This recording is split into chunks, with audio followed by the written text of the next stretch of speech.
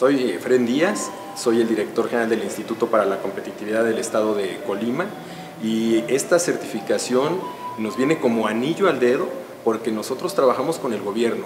Las eh, organizaciones de gobierno normalmente tienen poco enfoque al cliente, poca cultura de servicio. Estas metodologías que estamos aprendiendo nos van a ser de gran utilidad para regresar el enfoque al cliente. Las vamos a aplicar de inmediato. Muchas gracias y un saludo. Ojalá nos vayan a visitar allá a Colima.